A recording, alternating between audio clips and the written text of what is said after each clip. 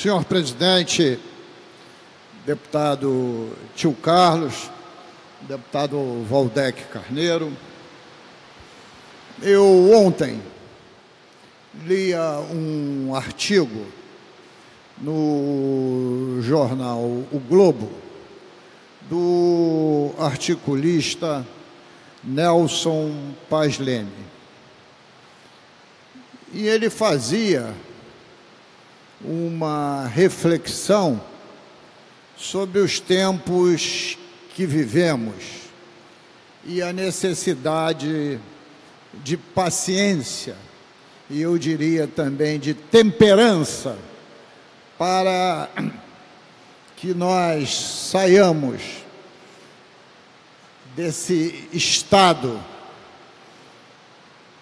de total descrédito nas instituições, fruto de uma plutocracia corrupta que associa a elite política com a elite partidária para uma nova democracia participativa com comportamentos mais republicanos e que o direito do cidadão e seus deveres existam em plenitude. Essa transição não acontecerá da noite para o dia. Essa transição ocorrerá paulatina e progressivamente. Até porque a lei eleitoral aprovada e a miríades de partidos políticos existentes e o personalismo que existe na política nos leva a dificultar essa transição. O novo Congresso Nacional, deputado Tio Carlos, será mais do mesmo, com algumas modificações, tomara que sejam de excelência. E por que, senhor presidente?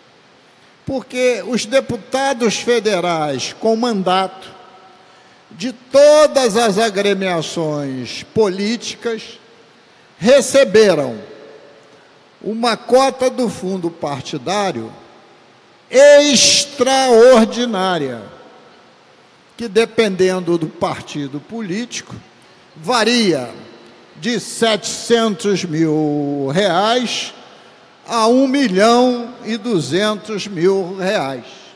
Ora, esses candidatos a deputado federal têm uma vantagem estratégica enorme em relação a quem não é deputado federal.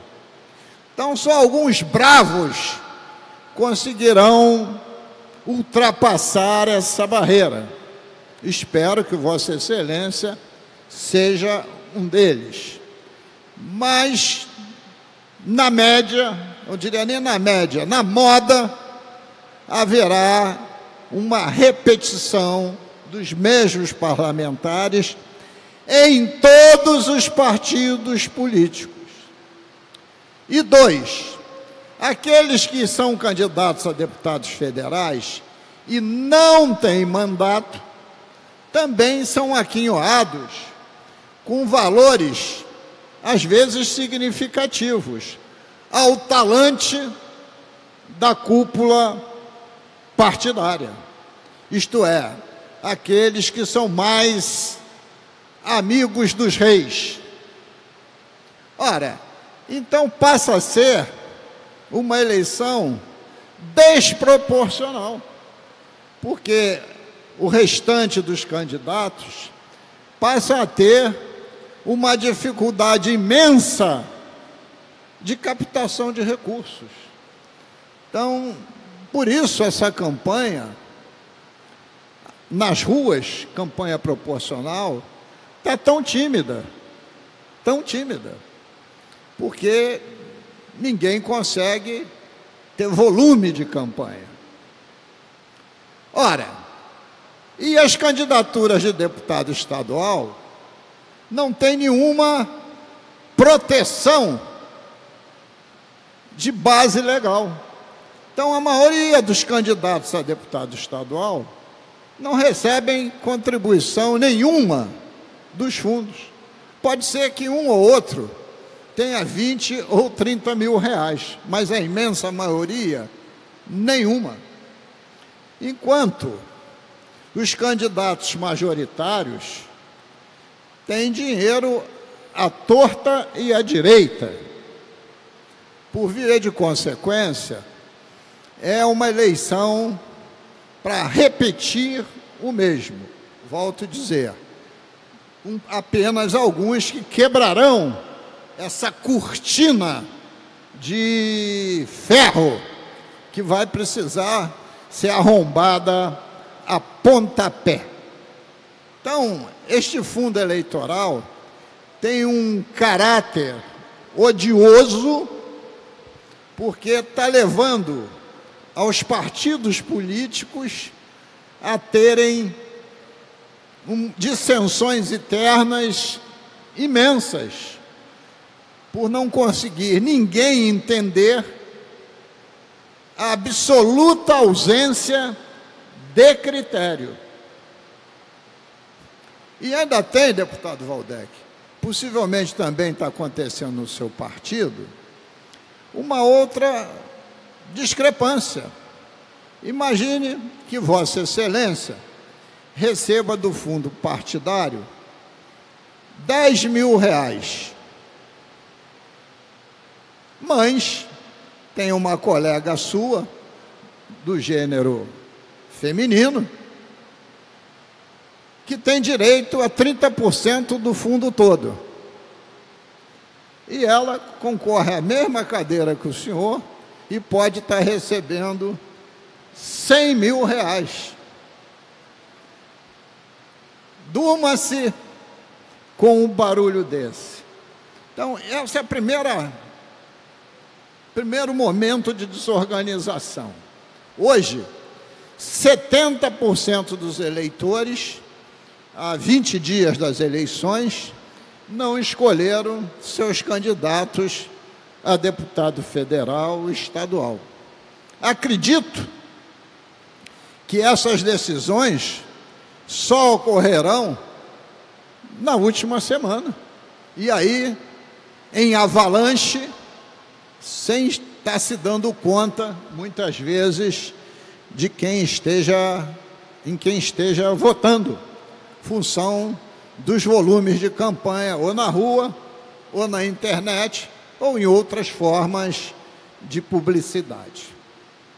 De outro lado, temos um quadro eleitoral para a presidência da República que tomou conta das discussões nesse país. E de, tomou conta função de episódios que eu chamo extravagantes que não são normais num processo político eleitoral. O primeiro foi o crime de, se de, de ter sido dado uma facada no candidato Bolsonaro, que todos nós aqui repelimos de pronto, porque a violência não é a forma de se decidir a política. Mas isso, evidentemente, foi um fato catalisador da opinião pública.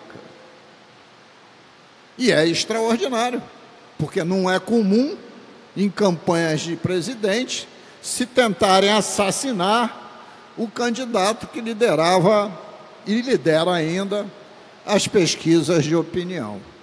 De outro lado, o Partido dos Trabalhadores estruturou uma estratégia de ir com a candidatura do Lula até o limite do impossível, previamente sabendo que o Lula não poderia ser candidato, porque já estava preso por estar condenado em segunda instância.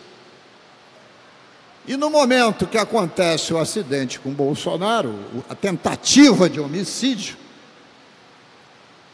o PT resolve, já que tinha perdido o palanque, lançar a candidatura do Haddad. E a partir desses dois fatos extraordinários, o que que ocorre? O voto dito de esquerda, isto é, o voto do Boulos, algum voto da Marina, algum voto perdido, uma parcela do voto do Ciro, migra para o Haddad e também o voto, parte do voto, que era do próprio Lula.